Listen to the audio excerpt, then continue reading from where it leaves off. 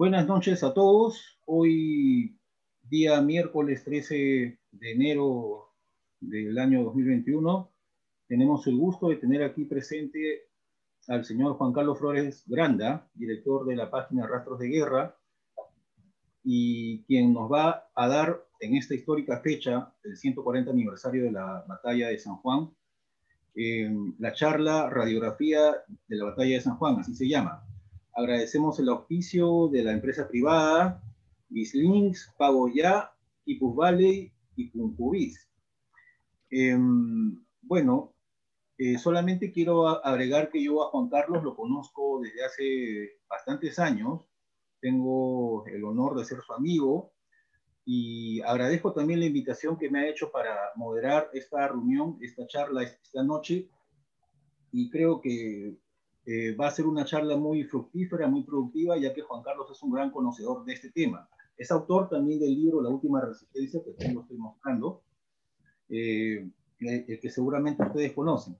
Bueno, así que espero, espero que eh, escuchemos ordenadamente esta charla y nuevamente gracias a los oficiadores y a Juan Carlos por la invitación. Adelante, Juan Carlos, buenas noches.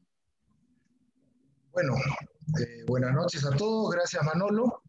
Eh, bueno, como decía Manolo, sí, efectivamente, eh, hoy día eh, voy a hacer la primera parte conmemorando la, los el 140 aniversario de la batalla de San Juan y Miraflores. En esta primera parte voy a hablar sobre la batalla de San Juan, la radiografía de la línea de San Juan, porque lo voy a tomar de una forma diferente. por favor, yo les agradecería de que todo concepto que hayan tenido antes de la batalla lo borren ¿ya? y miren esta parte objetivamente, porque de acuerdo a lo que yo voy a ir mostrando, ustedes van a ir sacando sus propias conclusiones del por qué perdimos la batalla, ¿no? Y por qué, eh, por qué es importante este, eh, eh, estas conmemoraciones, ¿no?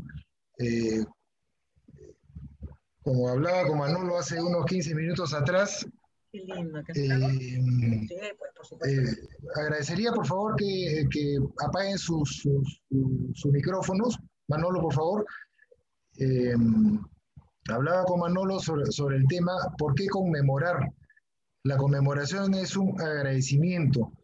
se escucha a muchas personas, no, ¿por qué vamos a celebrar derrotas? No, nadie celebra derrotas, conmemora derrotas. O sea, conmemora, es un agradecimiento a, esa gente que ha muerto. Ustedes están viendo en la primera foto esas cositas blancas, esos puntitos blancos son muertos, muertos de esa época, muertos peruanos. Entonces, ¿cómo no, cómo no eh, recordar esto? ¿Cómo no recordar esto? Es importante conocer nuestro pasado, corregir nuestros errores para poder ir adelante. Mientras nosotros no corrijamos nuestros errores, siempre vamos a repetir lo mismo. Comienzo con, la, con, una, con, un, con un breve antecedente hacia la campaña de Lima. Perdía las batallas de Tacna y Arica. Eh, el Perú en, en, la campaña del sur perdió casi todo su ejército veterano. ¿no? El 27 de, de junio, eh, Pierola decreta aumentar elementos al ejército porque no había a todo hombre entre 16 y 59 años para el servicio correspondiente. El 4 de septiembre eh, viene la expedición Lynch al norte de Perú a imponer cupos y destruir ingenios azucareros. Todos los, centros de abastecimiento peruano fueron, fueron destruidos prácticamente para eh, mermar como estrategia de, guerra para mermar eh, la, moral eh, del país eh, este, invadido, ¿no? Hubieron unas, unas conferencias, ¿no? Las, las conversaciones de Arica, propuestas por Estados Unidos del 22 al 27 de octubre, pero fracasaron, porque Chile lo único que quería, y acá lo veo, era entregar a Antofagasta y Tarapacá ¿no? una compensación económica y la desmilitarización total de Arica.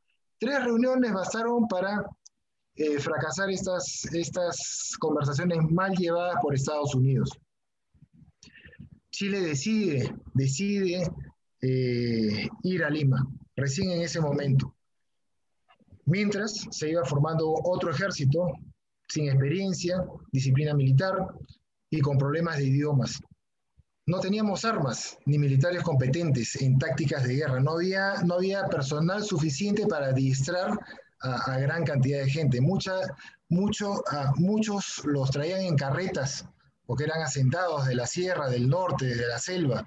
Se les daba grados de oficial a estos asentados, ¿no? Y, y se les encargaba el adiestramiento. No había una unidad. El plan de defensa, muy, muy simple. Había un desconcierto total por dónde iba a atacar Chile. Eh, transpórtense, transpórtense al siglo XIX, no miren esto con, ojos del siglo XXI. Chile era dueño del mar, de, punta a punta. No había, este, solo había telégrafo, ¿no? Para, para, para saber pero la verdad la gente estaba ciega, o sea, no, se podía saber. Por eso que se, empezaba, eh, se empezó a, armar un plan. Poca disposición de varios generales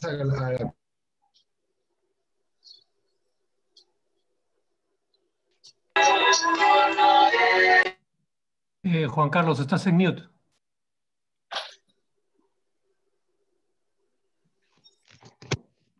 ¿Aló? ¿Me escuchan ahora? Ahora sí. Ya.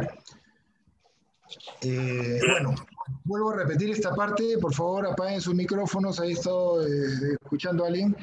Eh, poca disposición de varios generales a colaborar con el plan de defensa. Pierola pidió, pidió.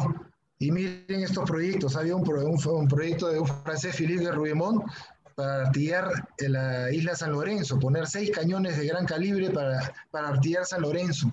El general Mendiburo propuso una defensiva y ofensiva con base en Lurín. Y una carta que encontré en el archivo Pirola en línea este, decía que necesitaban dos líneas defensivas, uno en el Valle de Chillón y en el de Boca Negra y la segunda al final de la tabla de, de Lurín. No había un plan definido. ¿no? Qué es lo que dice Basadre, ¿no? Cualquiera que sea la crítica que desde un punto de vista técnico puede hacerse ahora a la defensa de Lima, y por muy justificadas que tienen que parecer, esas obras dejaron satisfechos antes de las batallas a antiguos jefes del ejército, como los generales Rufino Chenique y Ramón Vargas Machuca. Ahí viene la célebre frase que, bueno, como nadie le da una solución, yo tengo mi plan y Pierola traza un plan de defensa en donde todos, todos eh, lo aceptaron. Años, muchos años después, comenzaron a lavarse cada uno las manos. Pero en ese momento, la fotografía de la época era la disposición lo que es, eh, de aceptarlo. ¿Qué decía Vargas Machuca, no? Por lo demás, muchos satisfacen en el campamento la actividad de vuestra excelencia en las posiciones escogidas para cerrar toda entrada al enemigo. Este era un general muy veterano en batallas, ¿no? Está Echenique, ¿no? Después que nos separamos he estado pensando en nuestra posición en San Juan. La encuentro perfecta e invencible. Miren la fecha, 9 de enero de 1881. 8 de enero, perdón. ¿Cuál era el plan de defensa? Habían dos líneas. La del ejército de línea, entre comillas, profesional, porque ya habíamos dicho que eran los restos del ejército del sur más nuevos reclutados, desde el extremo de brazo Marcavilca, o sea, en Conchán, hasta Monterrico, 12 kilómetros. Y de la segunda línea, que es la de Miraflores, que es a la que vamos a hablar el día 15, es desde, el extremo derecho del, barranco, ¿no? Hasta Ate. Un, un mapita, no un, un esquema. Entonces acá tenemos la primera línea, la que vamos a hablar hoy día. Y la segunda línea, que es esta de Miraflores. Este es un croquis que saqué del Archivo Nacional de Chile y acá podemos ver la línea de San Juan. ¿Por qué se dice Batalla de San Juan? Porque se circunscribe a la hacienda San Juan. El plan de defensa. El 23 de diciembre se organiza el ejército en cuatro cuerpos. ¿no? Y el 26, miren las fechas, se establece el cuartel general en San Juan. Desde ese momento comienzan los trabajos de defensa de la ciudad. El teniente Marcelín Ratonsky es un observador francés oficial. Habían cuatro observadores por cada lado, Perú y Chile. Un francés, un americano, un inglés y un italiano. Por el lado chileno, exactamente, la misma cantidad.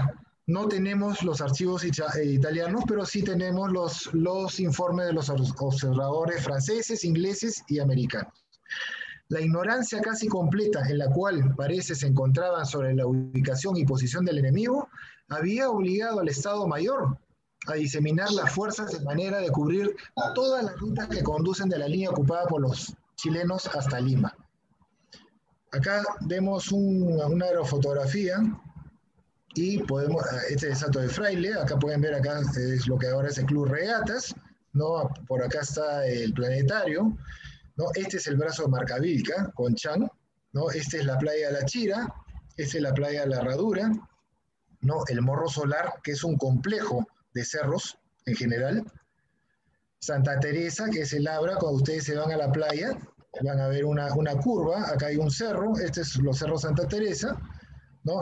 el zigzag, el cerro zigzag, el Gramadal, acá está el Cristo, si pueden ver por la carretera que pasa por acá hay un Cristo, y este es el cementerio de la policía, es un cerro largo, y viene el Viva el Perú, donde actualmente han hecho un tanque de agua y han, malogrado las trincheras que se pudo haber este, estudiado. Otra aerofotografía, este es del año 43, si no me equivoco, Miren cómo era Chorrillos hasta esa época, no, no cambió hasta esa época. Entonces, este es el salto de fraile, para el lado de acá es el salto de fraile, esta gramadal, los cerros zigzag.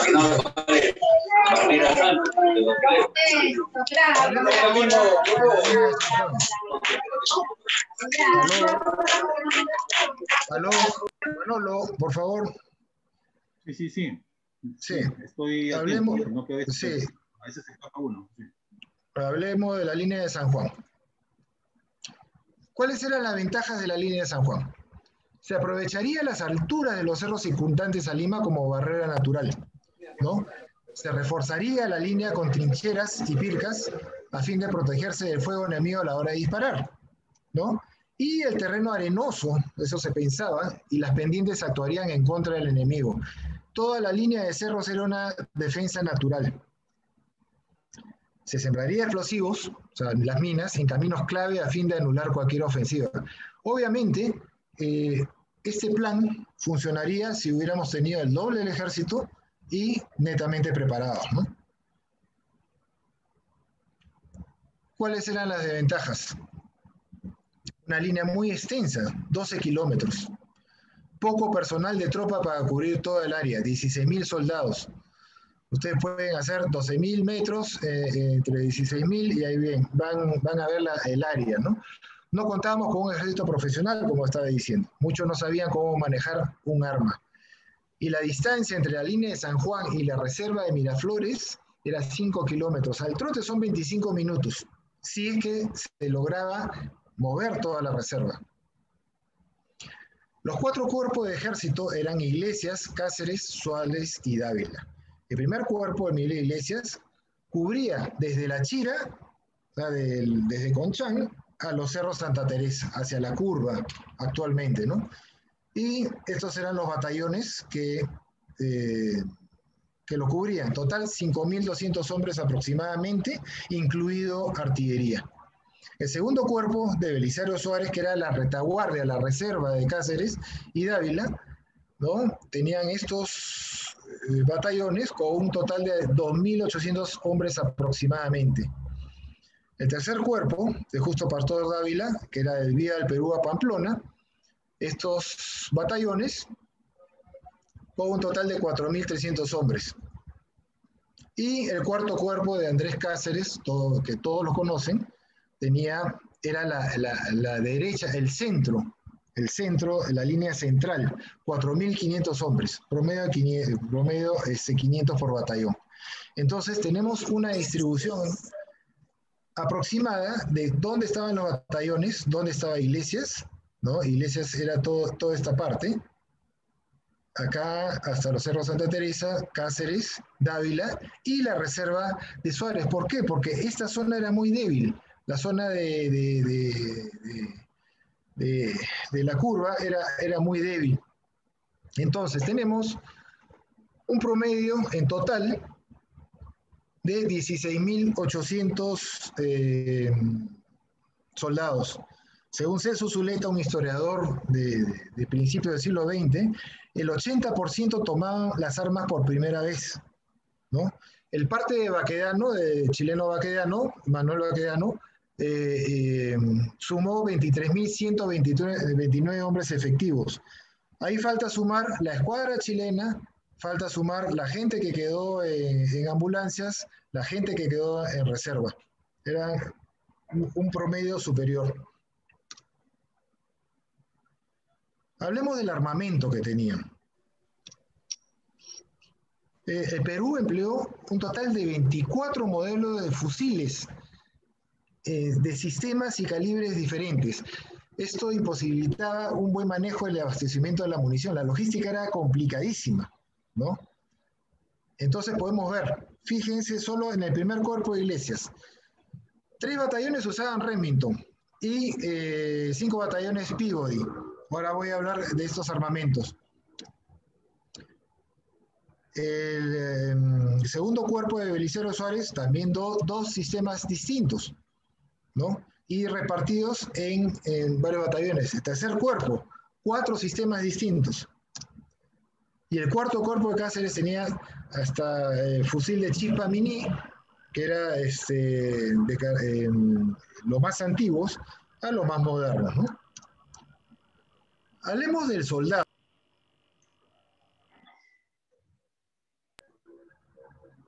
Eh, ¿Aló? ¿Aló? Sí, se te escucha. Ya, perfecto. El soldado, mm, sea, ahí está.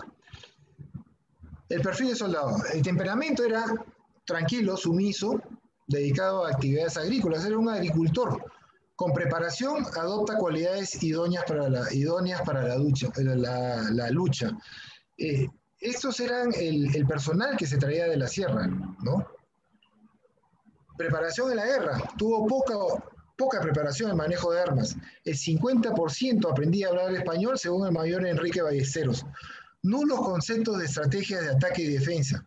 Presentaba falta de comunicación por motivos raciales o idioma y no tenía identidad o el país. No sabía por qué luchaban. O por el general Pirola, o por el general Chile, ¿no? O por el general Canevaro. Cada uno no sabían que era Perú.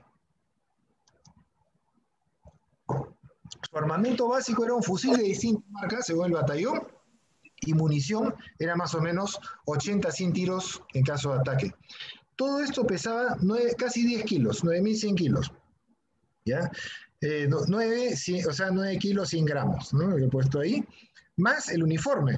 El uniforme pesaba un resumen de 26, de 26 kilos con uniforme y armamento.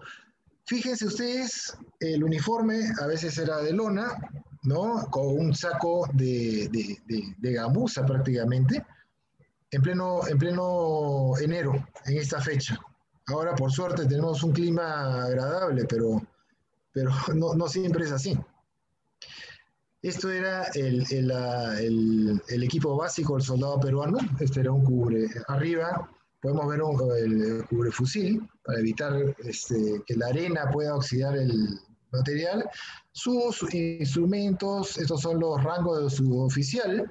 ¿no? Ese cubre mantas que tenían redondelas que identificaban a cada batallón. ¿no? Su set de costura, ¿no? Este es el ilustrador de botones, se ponía el botón por acá y se ilustraba. Y un kit de ambulancia básico. Este es el uniforme total, ¿no? Y se trató, se, se, juntó un montón de, material para reproducir una foto de este cabo, Manuel Montenegro, que murió en, San Juan. Ahora vamos a hablar sobre la cadencia de tiro. Quiero que vean, este es un fusil Peabody peruano, ¿no? La cadencia de tiro más o menos para una persona que sabe manejar esta arma era de 6 a 8 tiros por, por, por, minuto. ¿no? Quiero que vean cómo es el, el funcionamiento del fusil Peabody.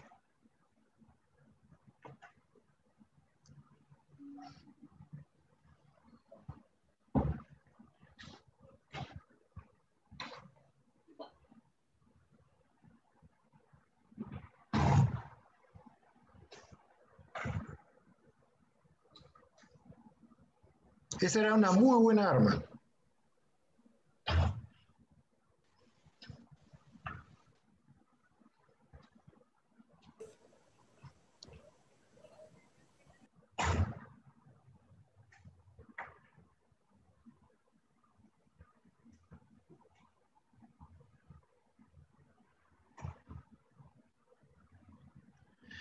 Imagínense una persona que no sabe utilizar esta arma. Ahora van a ver un Comblade chileno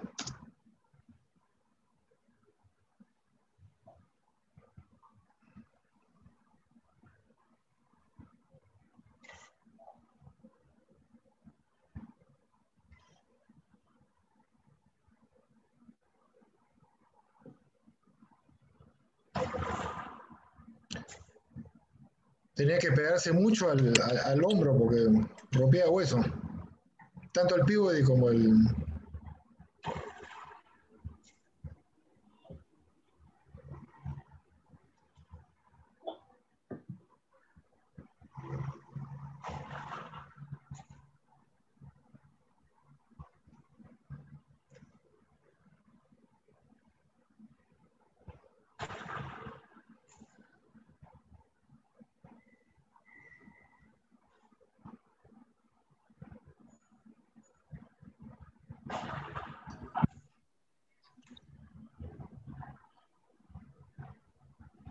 se han dado cuenta de, los dos mecanismos de, estas armas.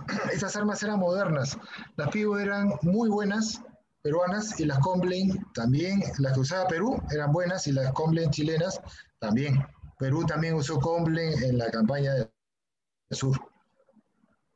Hablemos de las rabonas. A mí no me gusta decirle rabonas, porque son cantineras. A mí me suena un poco despectivo pero se les dice rabonas porque prácticamente iban a la retaguardia del ejército, pero muchas veces ellas eran las primeras que, llegaban al campamento y, hacían toda la logística para el soldado. Esto viene del término vivanderos. Los vivanderos eran los que, los que en Europa, en España, Francia, eh, vendían comida eh, en el camino del ejército. Si trasladamos esto a ese siglo, son como las, las mujeres que venden eh, los menús en las construcciones. Este, e, era así prácticamente, ¿no? Una parte importante, como decía, de la campaña pasada ha sido el tema de la alimentación del soldado. Las rabonas eran eh, las vivanderas, como se conocen las compañeras de cada soldado. Esta podía ser su esposa, concubina o amiga, pero ellas eran las encargadas de toda la logística del ejército se pasó una revista oficial que yo eh, estuve en el año 2006 en el Archivo Histórico Militar y eh, fotografié todas las listas de revistas Las Rabonas y sí había promedio batallón, era de seis, por cada seis soldados una, una rabona, ¿no? Y tenemos eh, en la relación oficial del ejército que le dicen cantineras, como debe decirse, ¿no? Esa es la relación de, por batallón de, que hice de cada, de cada cantinera. ¿no? 75 el guardia peruana número uno y tenía más o menos el guardia peruana tenía unos 600 soldados, ¿no? Total 1.300 mujeres eh, en la línea, más la caballería, 270 total, este, todas ellas estaban en la línea de batalla, todas ellas estaban en la línea de defensa. Eh, cuando hablan de 16.000 soldados, se olvidan de, las mujeres. Y es hora, y es hora de que el ejército reconozca, reconozca la participación de la mujer en la guerra, porque en ningún libro de historia se toca este tema, salvo las mujeres que han estado, la, esposa de Cáceres, la viuda de Juan Fanning, ¿no? mujeres que han sido intelectuales prácticamente. Pero la mujer común, la mujer de la peruana, la, popular, eh, no se toma en cuenta. Y sí, efectivamente hay estudios, este, algunas tesis que están saliendo eh, reivindicando esta, esta participación. No solo eran 16 este, mil soldados, hay que sumar a las mujeres en, la línea de batalla. El rancho era abundante, decía eh, el teniente Edgar Marcelin Ratomsky, el francés, ¿no? y de buena calidad. Las mujeres rabonas que acompañaban en todo momento las tropas del Perú tenían un desempeño remarcable a las necesidades de los soldados, haciéndoles las comidas, construyéndoles sus ranchos, etc. El teniente de Houston, sea, un observador norteamericano oficial, eh, decía, una peculiaridad que noté en los campamentos era el gran número de mujeres y niños, esposas y novias de los soldados. Estaban de servicio preparando las comidas, recogiendo la leña, etc. Esta era una costumbre también que se utilizaba en la guerra de secesión americana. Eh, los, oficiales y los soldados iban con sus familias a los campamentos. Las ollas comunes y carne en campamento, este, ollas comunes y raciones con todo tipo de verduras había, ¿no? Se realizaban corridas de toros, y ahí está el, observador Karen Brenton en inglés, ¿no? Que comentaba, durante todo este tiempo el ejército estuvo bien provisto de alimentos, en realidad nunca oí queja alguna contra el comisariado. Los carniceros peruanos no eran muy hábiles, y a diario montaban una especie de corrida todos los antes que los animales que llegaban vivos fueran beneficiados para carne de res. Las raciones adjudicadas a cada hombre eran generosas, se les daba dos comidas diarias. Hay que tener presente que las rabonas compartían las raciones con sus maridos. ¿Cuáles eran las, razones, las raciones diarias? Estos eran los ingredientes, charqui, carne fresca, maíz tostado, frijol, pan, ají, cebolla, papas, camotes, arroz, legumbres. Y las raciones de combate, para que el soldado mientras está combatiendo coma también, era el charqui, eran raciones secas, maíz tostado, galletas y hojas de coca. sobre las hojas de coca era interesante este, ver este concepto. La coca, por su acción estimulante sobre los centros nerviosos, entona y alimenta a nuestras tropas, acostumbradas a masticarla y dándoles vigor y fuerzas en el rudo trabajo de las batallas. Los dispositivos de defensa. Hablemos de las trincheras. Como ya había dicho, se había construido trincheras a lo largo de la línea de los cerros naturales que nacían en la orilla de Conchán. En algunas zonas donde el terreno lo permitía, la trinchera llegaba a los 90 centímetros, protegido por sacos de arena. Pero en otros lugares donde el terreno era piedra prácticamente rocoso, se levantaba pircas, que eran muros de piedra partidas. ¿no? Estas son las pircas. Este es un una acuarela de Ruhr de, de, eh, y podemos ver las pircas, esta era la zanja, ¿no? La línea de trinchera, podemos ver las aerofotografías de la época, que hasta ahora se puede ver. Esta es la zona de Gramadal, donde está el cementerio de la policía, ¿no? Esta era la línea de trinchera. Un acercamiento. Línea de trinchera. Los sacos de trinchera que eran de yute, generalmente era saco de azúcar arroz, ¿no? Un saco de la batería Martirolaya, que es en... ¿Y escuchas? estos eran las pircas. Esta era la línea de trinchera y estas eh, eran las pircas, ¿no? Este es en el Cerro Viva, este, en el Gramadal. Estos eran los cartuchos de pólvora, ¿no? habían 200 ingenieros que se ocupaban principalmente de, minar caminos y fuertes. El problema es que eh, el ejército, el Estado Mayor, ¿no? Eh, toma conocimiento, o sea, no les habían dicho nada, independiente, para que vean cómo era lo complicado de este sistema, eh, los ingenieros no comunicaban al Estado Mayor dónde, dónde, dónde colocaban estas, estos cartuchos de pólvora, que eran, le decían minas, recién estaba, recién estaba en inicios, pero sí causaba daño, ¿no? Esta es una colección particular, este es un grabado antiguo que tengo yo. Otro dispositivo, un pequeño barril de pólvora, entonces le ponían un cazabobo que podía ser un reloj, algo de oro, entonces pasaba un chileno, lo jalaba y, reventaba, ¿no? Para todo esto, señores, toda esta línea de defensa solo se emplearon 20 días. Esto fue, imagínense, en 20 días armar toda una línea de trinchera, trasladar todo un ejército, trasladar armamento, todo. Los campamentos estaban en Lima, el campamento de Canto Grande. Desde, desde septiembre ya habían este, eh, como teníamos a la ciudad de La Piero, al Cerro San Cristóbal artillado, los campamentos estaban alrededor de eso, porque no sabía por dónde iba a ir el ejército.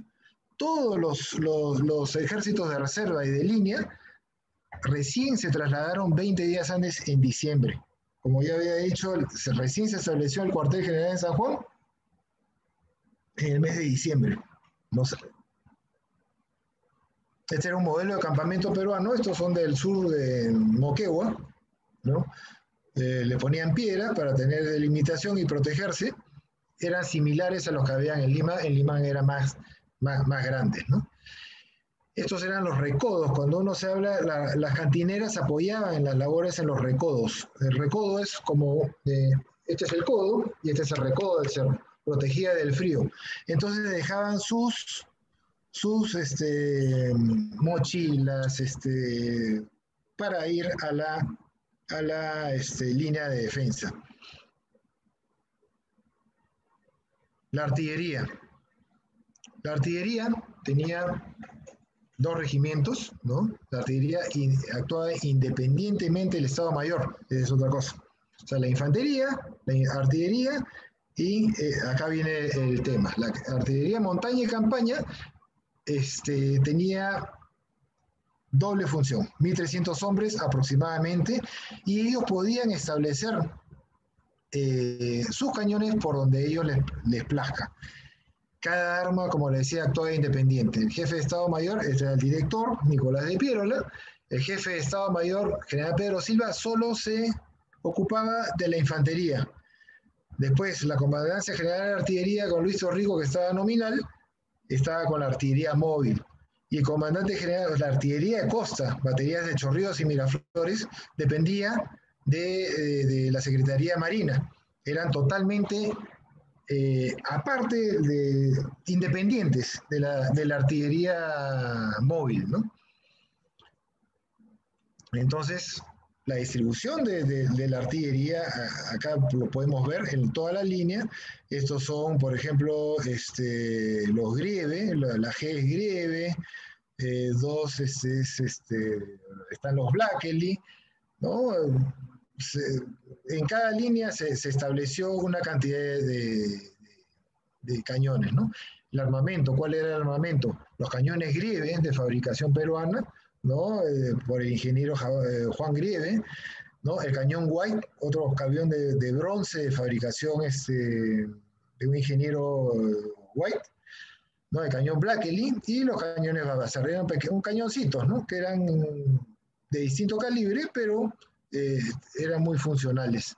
Teníamos una ametralladora Gatling, que era la típica de, de la época, y ahora vemos la artillería de costa. ¿Por qué eran importantes las baterías del morro solar? Porque protegían el cable subterráneo de comunicaciones que unía al sur. ¿no? Y fue el bastión de defensa de la ciudad. El, septiembre de 1880 hubo bombardeo a Chorrillos. Y a raíz de ese bombardeo fue que se crearon las baterías de Chorrillos, eh, específicamente la Mártir Olaya. Acá vamos a hacer una descripción, ¿no? El morro solar. ¿Por qué le dice el morro solar? Porque este, Francisco Pizarro le, dio la encomienda de Surco y Barranco en 1565 a Antonio del Solar. Entonces quedó como morro del solar, antes era Cerro Marcavilca. Y Antonio del Solar se presentó como una deidad. Entonces ya los indios de la época ya lo veían como, una forma de conquistar de otra, de otra forma. Acá tenemos Armatambo, ¿no? Tenemos el morro solar, como se dice eh, coloquialmente, y el salto de fraile eh, hacia el otro lado, la punta marcavílica, el brazo de marca bíblica, que es un brazo, y la subida, una subida zigzag que hicieron manual para subir los cañones de, de montaña que para, para, los, este, para defender toda esta zona. Tenemos, este es el Club Regatas actualmente, ¿no? Y tenemos la Martín Olaya, que estaba con dos cañones Parro de 60 o 100 libras que estamos por definir, con un amigo mío, una metralla Claxton, un Rodman de 500 y un Wilbur de, de 9 y un obús de 12 centímetros. La batería provisional, que estaba frente al costado de lo que era el cementerio, eh, dos cañones de 32 libras, y la batería de marca que eran dos cañones de, de, montaña de 9 libras y una ametralladora Nordenfeld. ¿Qué eran los cañones? Este es el cañón Rodman de 500 libras. Un cañón ¿no? este, de fierro fundido, ¿no? comprado después del, combate 2 de mayo de, de, 1866 para defender este, el Callao. ¿no? Estamos hablando de cañones antiguos que tenían balas esféricas. Cañón Parrot de, 70 libras, de fierro fundido también. Este es un Wisburg, un cañoncito que era de la corbeta Unión, que le decían el malcriado. ¿no? Esa era la ametralladora Claxton. Esta es la fotografía del Museo Nacional de Chile, si no me equivoco. Sí, el Museo Nacional de Chile. Era el único cañón que, tenía la Martín Olaya. ¿no? Y este es el obús, fabricado en peruano, un, cañoncito de bronce. El obús es un, es un pequeño cañón de corta ánima, de, corto largo, pero disparaba esféricos eh, a, poca, a poca distancia, ¿no? de, en gran ángulo. Esa es la diferencia entre un cañón. ¿no? En la batería provisional teníamos estos cañones eh, que todos conocemos y vemos en las películas, de fierro fundido, de, de 32 libras. Y en marca bíblica teníamos dos cañones, de, perdón, se me fue, dos cañones eh, Clay y esta ametralladora, Nordenfeld. Ahora vamos a ver la comparación. Quiero que vean esta comparación de... Y con esto van a entender perfectamente cómo estuvo Perú y cómo estuvo Chile. Perú tenía esta cantidad de, armas. Y no he puesto más porque ya el cuadro ya no era muy estético, que digamos. ¿no? Tenía esta cantidad de munición. Ahora veamos Chile. Chile tenía dos armas y una munición. Cinco fábricas o sea, cinco, cinco tipos de, balas, para, o sea, cinco fábricas para un solo tipo. Estaban recamarados para un solo calibre. Entonces, la logística era muy simple. Perú tenía, miren, la variedad de, de, esféricos, este, de, de todo modelo, pueden ver. Chile tenía solo esto, ¿no? Cañones, o sea, eh, proyectiles Krupp de última generación y, Armstrong, recién comprados también. Podemos ver que Perú tuvo en, marcas de cañón, ¿no? modelos, en total 83 cañones y 20 ametralladoras según el parte de Pedro Silva. Y Chile tenía una sola marca, o sea, un par de marcas, Armstrong y Krupp, y todas este, 77 cañones y 10 ametralladores de mayor alcance, ¿no? Los, cañones eran mucho más modernos. Y ahora hablemos de la fase de la batalla. Esta es la parte crucial. La ausencia de información positiva sobre el enemigo da una suerte de inquietud al cuartel general, ¿no? A las 5 de la mañana se inicia la batalla por la parte central de la línea.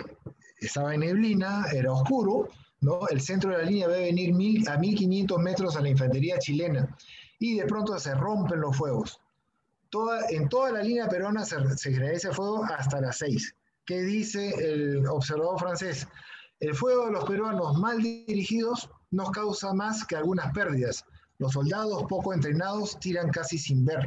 La artillería de su costado dirige disparos al azar y sin ningún método. Eso es la realidad. A las 6 de la mañana, todavía un esfuerzo más y el enemigo ganará las crestas de las colinas. El instante es desgarrador. Súbitamente un espanto terrible se apodera de los peruanos al ver esta avalancha humana que los ataca.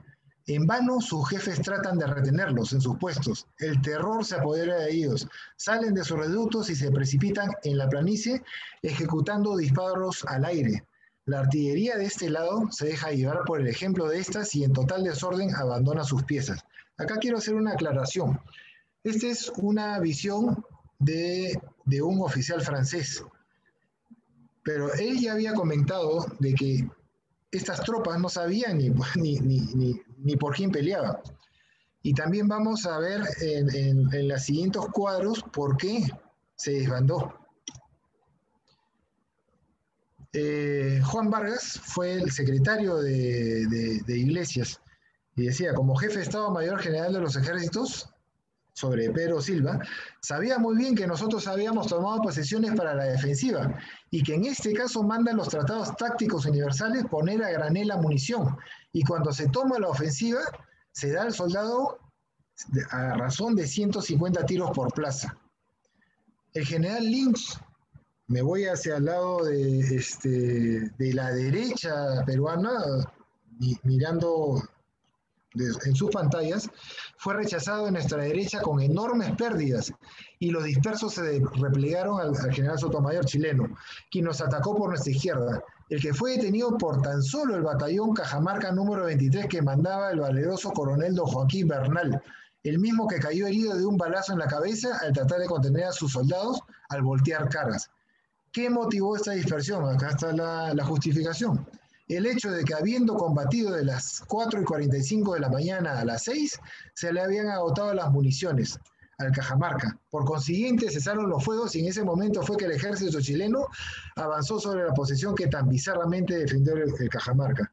Se rompe la línea central, la que comandaba Cáceres, y Cáceres realmente con pistola en mano trataba de, unir a la gente, pero el desbande fue total en la línea central y entraron los chilenos por, por ese lado de las seis y media y de Villa al este de San Juan, el ejército chileno es dueño de todas las posiciones peruanas. El cuerpo de Dávila y Cáceres están en pleno desorden. El pánico está en su cumbre. Se divide en dos la línea peruana. Un telegrama de San Juan, señor Parsoldán, que era el jefe de, los telégrafos. Acabamos de llegar, hemos escapado milagrosamente fuerza de la derecha resiste y la izquierda se refría totalmente a Miraflores. La fuerza del centro se dio, pues tiros del enemigo alcanzan hasta Surco. Continúan viniendo los dispersos. Los dispersos siguen a Miraflores a replegarse. Se dividió la línea y quedó la, derecha peruana, la parte de eh, Santa Teresa Chorrillos, defendida por Iglesias y Panizo en la artillería. ¿Qué dice Alberto del Solar a las 7 y 5? El combate se había generalizado ya por toda, Alberto Solar chileno, por toda la línea de batalla, y en esta forma duró más de una hora, al cabo de la cual a las 7 de la mañana más o menos llegamos al pie mismo de uno de los fuertes, el que queda más próximo al camino de San Juan. Lo habíamos defendido por dos hileras de sacos de arena, delante de las cuales había una extensa y profunda zanja que nos fue preciso salvar previamente a tiros y luego a bayoneta. Cruzado el foso, empezamos a atacar el propio fuerte, escalándolo furiosamente. Ahí se trabó el más horrible de los combates. Los peruanos nos presentaron el pecho desnudo por primera vez y en su resistencia desesperada peleaban como tigres, hay que confesarlo. Esto lo dice Alberto del Solar. En el telegrama, seguimos a las siete y media, acaban de decir chilenos cortan retirada por San Juan, ordenan vayan todos a ese lado. Sírvase usted darme órdenes en ese, eh, en caso que nos corten, son perdidos empleados y aparatos. entran a esta muchos dispersos. Del mar hace fuego a las 7 y 55, siguen avanzando, artillería Morro, Panteón hace fuego al enemigo, dicen muerto el coronel Cano y Arguedas, tropas se repliegan se a Miraflores. Desde acá comienza la, la, la, la segunda fase de la batalla, ¿no? En la derecha, la primera división Lynch está a punto de ser batida por las tropas de Trujillo y Cajamarca. En una lucha desesperada, las baterías de Jarpa están a punto de ser tomadas cuando llegan refuerzos del tercero de línea y zapadores. A eso de las nueve horas el combate se inicia nuevamente, una fase. ¿no? La primera fase es San Juan, a las nueve de la mañana comienza en la parte de Chorrillos, ¿no? con toda violencia. El enemigo se repite en la planicie a la izquierda y contornea el lado este del Morro Solar, después de haber irrumpido por la garganta de Villa, en donde ellos se adueñan de ese importante lugar estratégico. Si al Cajamarca, dice Juan Vargas, no le hubieran faltado las municiones, tenga usted la seguridad que en esa mañana habríamos obtenido el triunfo más espléndido, pues ese desbande a la vista de los demás cuerpos dio por resultado que los demás siguieran la misma suerte. Claro, eran milicias y eran humanos.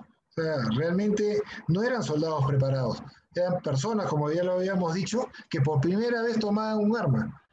A ver si alguno de nosotros tenemos la valentía de matar a alguien y cómo quedamos, cómo quedamos impresionados. La batalla continúa hacia la derecha peruana, ¿no? y desde ese momento el primer cuerpo de iglesias, la infantería, ¿no? en la planicie apoyada por las baterías de Arnaldo Panizo desde el Morro Solar. Acá quiero hacer un, una parte especial. El último bastión de defensa, el 13 de enero de 1881, que es el parte coronel Arnaldo Panizo. ¿no? no había división de infantería que protegiese a estos artilleros. Solamente el brazo de Marcavilca se le, asignó las tropas de Coronel Noriega, que es decir, Guardia Peruana, Cajamarca y Ayacucho, que pertenecían al cuerpo de iglesias. A las 6 de la mañana, estamos hablando ya en el Morro Solar, subía Marcavilca, que en esos momentos hacía fuego sobre el enemigo. Al llegar ahí, me dio el capitán Luque la noticia de que una de las piezas Clay es un cañón y la ametralladora Nordefend estaban inutilizadas. Se malograban, eran, eran, eran este, armas, armas antiguas y constantemente las arreglaban. Lamentablemente en, en plena batalla se, se, inutiliza porque se desmontó de la cureña. Un armero se ocupaba de trabajar en ambas armas a fin de restituirlas al servicio, pero ni el trabajo de este ni el empeñoso interés del capitán produjeron resultado favorable alguno. Entonces quedó un solo cañón que disparaba sobre la escuadra enemiga y otra sobre los regimientos que trataban de subir. Entonces acá podemos ver más o menos la batería marca Vilca que disparaba este tipo de, proyectiles. Mientras tanto, el enemigo ya, había ido batiendo, desalojando sus posiciones a nuestro ejército en la línea desde San Juan a la Chira. En el acto descendía Marcavilca y estaba Pierola, ¿no? Eh, a quien di parte cuando hasta entonces había acontecido en mi puesto avisándole, al mismo tiempo que iba a romper los fuegos en la batería provisional. Su excelencia siguió a Marcavilca y los fuegos se rompieron en las mejores condiciones.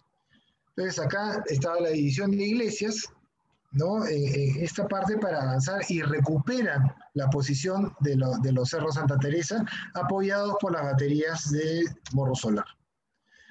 Parte de la escuadra enemiga aparecía frente a la batería Martirolaya.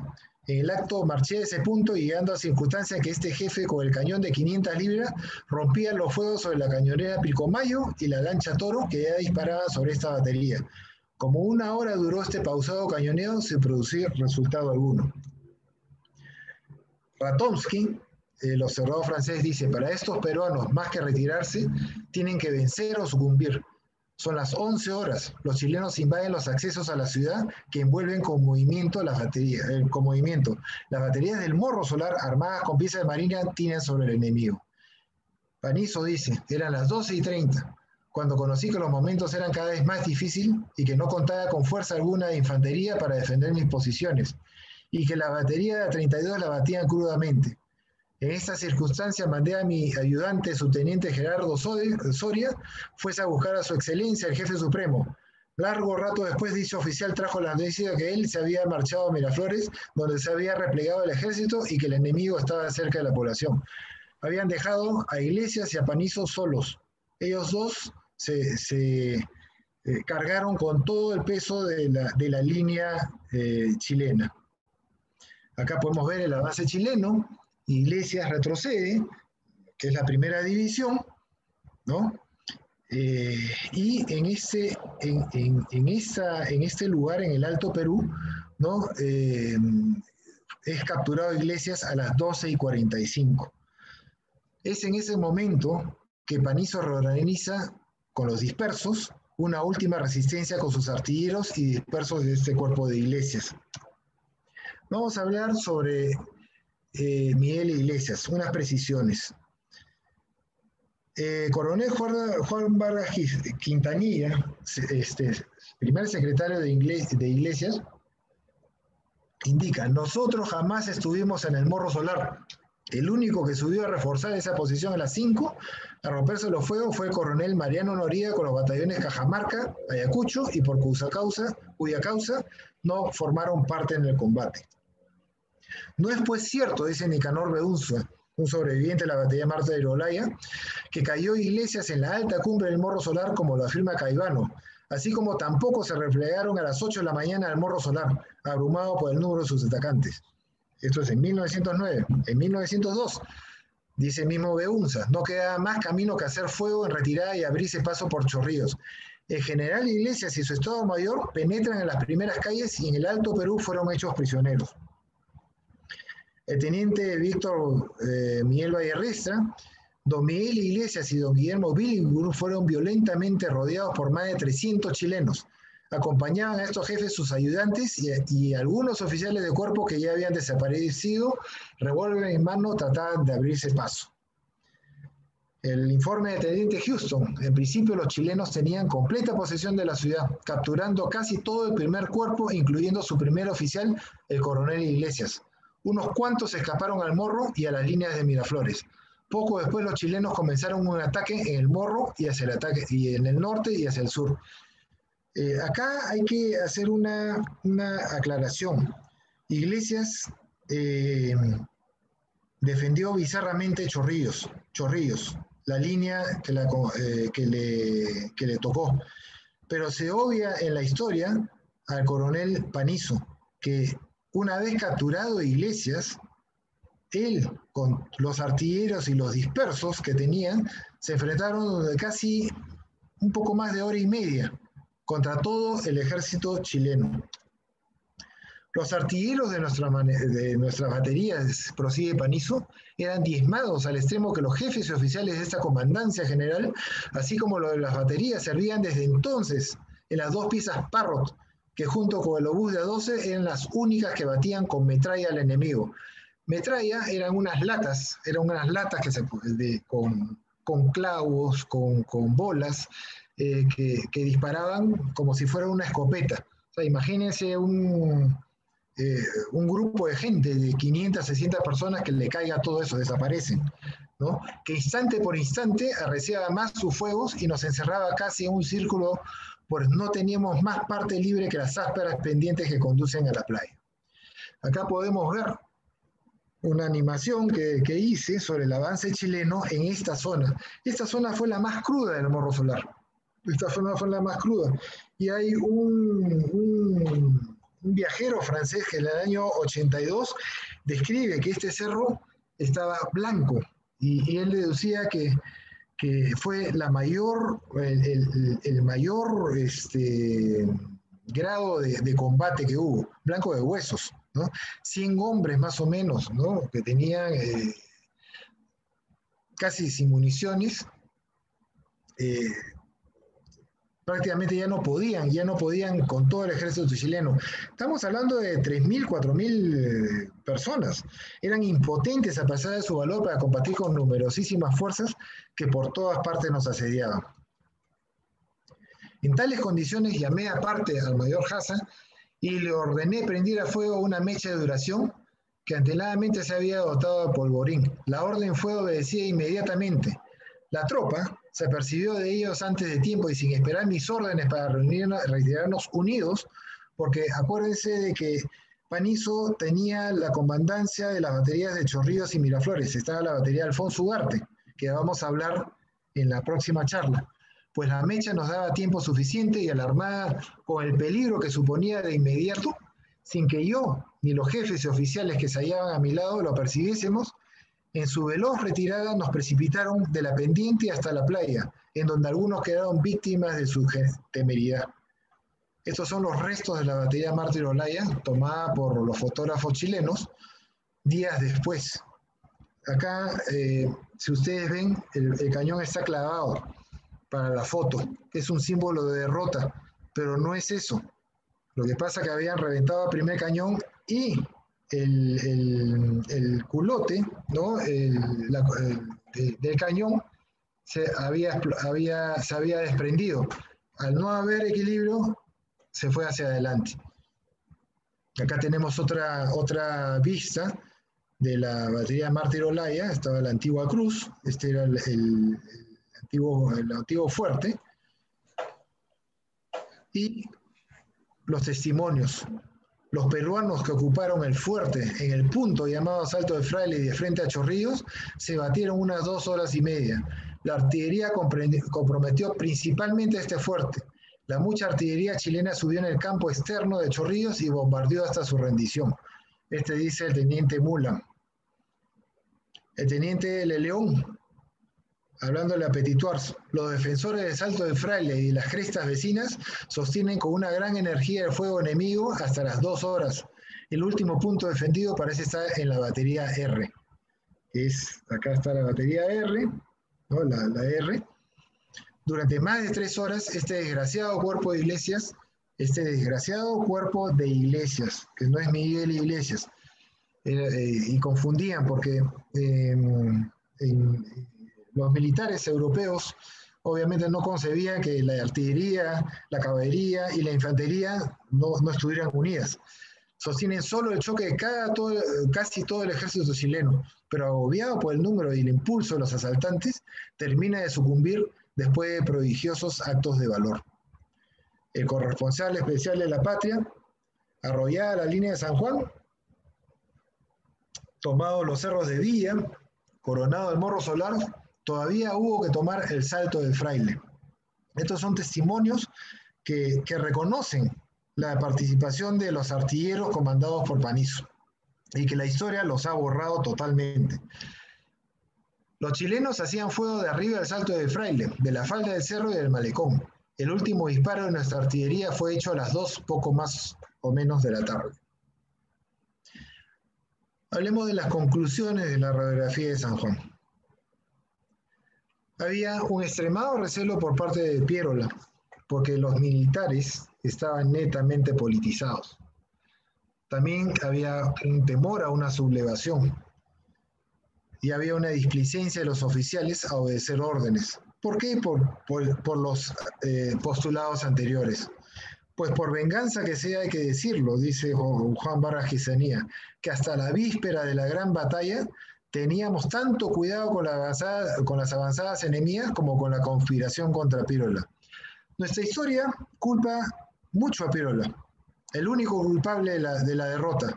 Sin embargo, durante toda la, campaña nadie se atrevió, nadie se atrevió a criticarlo. Solo Después, años después, eh, porque los, este, hubo una guerra civil entre iglesias y Cáceres, entró Cáceres, y la gente comenzó a hacer sus descargos, ¿no? La misma gente que Cáceres, o sea, que apoyó a Cáceres, curiosamente en el 95 se pasó hacia Nicolás de Pirola y derrocó a Cáceres en el 95. Para que vean cómo era el, esta generación. Nosotros no debemos arrastrar ¿no? las taras y los errores de esa generación.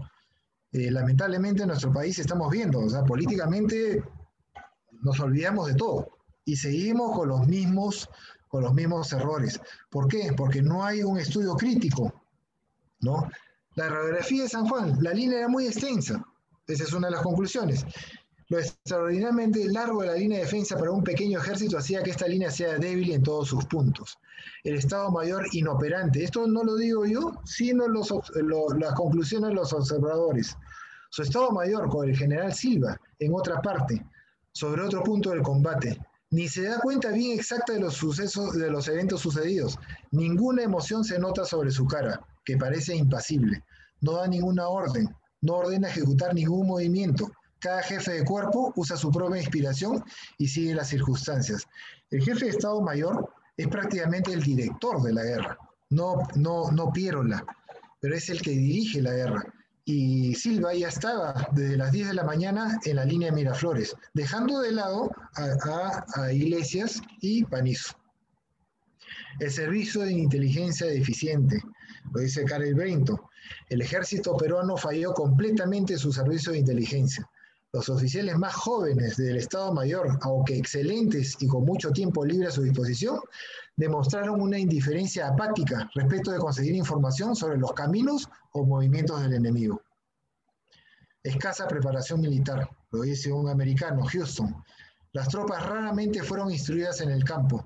Ninguna atención pareció tener su apariencia personal o limpieza, y dudo si ellos fueron alguna vez inspeccionados.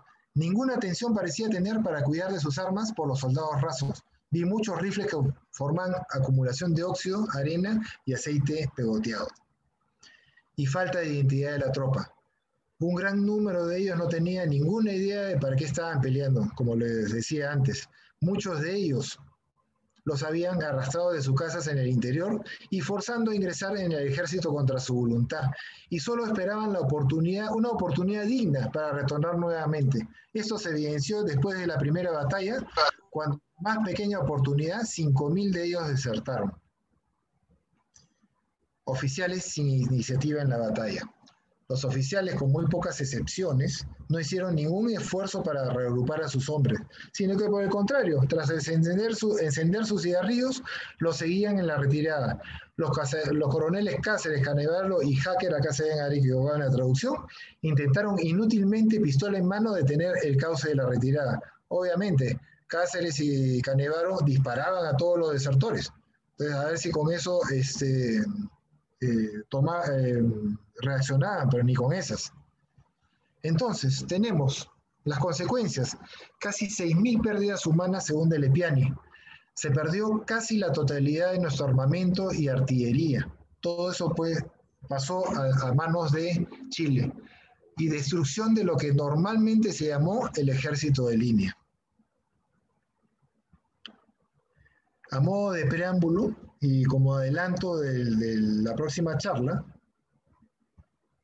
el 14 de, enero del 81 hubo un consejo de guerra y para que vea más o menos la, moral que, tenía el ejército, o sea, el grado, eh, la moralidad, no, moral de, ser moral, sino el, estado moral. Doy algunos testimonios. No se encuentra en la tropa, estos son los principales eh, jefes de las divisiones no encuentra en la tropa ni en los oficiales el espíritu de otros tiempos, pero que decir que a, sus soldados indignados que pelearán hasta morir. Ese fue el, testimonio más, más positivo de justo Pastor Dávila.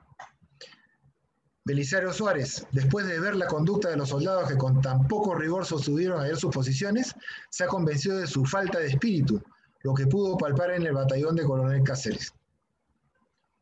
El mismo Cáceres, Poca confianza debe inspirar un ejército que abandona posiciones como las que ocupábamos ayer, lo que hace de ser bisoña la tropa que tenemos. Y Silva, lejos de coronar las alturas y posiciones ventajosas que teníamos, el ejército se desbandó tristemente de lo que deduce que podemos combatir, pero no triunfar. Y para cerrar, que la retirada vergonzosa de ayer ha destruido la moral y la disciplina del ejército, según observó en las vacilaciones que manifestaban al cumplir las órdenes que se le dieron.